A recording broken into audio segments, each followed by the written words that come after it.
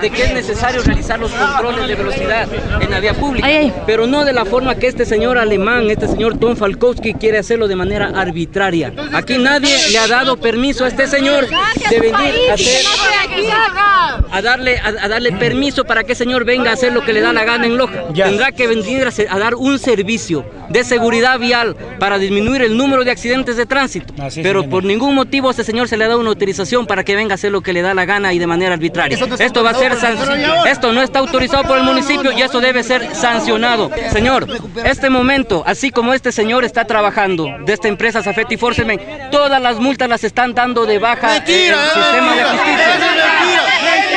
Este señor, este señor salió sin autorización y tendrá la sanción correspondiente conformidad al contrato. Ya. No, son personas particulares, son contratados por este señor Tom Falkowski de esta empresa C. No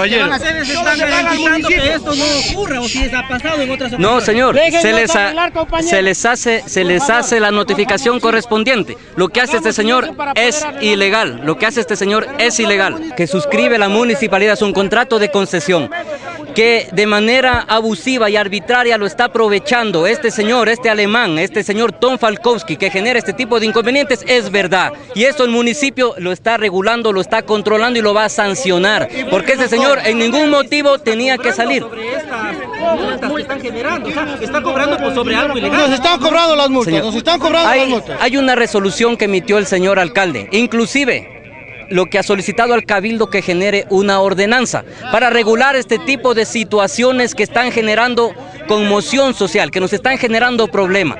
Si bien es necesario procurar la seguridad vial, disminuir el número de accidentes, pero sí de un debido proceso con la normativa adecuada, la norma- normativa correspondiente que ponga en claro el, debido proceso. Este momento, esta empresa, esta, este momento, esta empresa está aprovechándose, está haciendo mal uso de ese contrato de concesión y está generando este tipo de inconvenientes.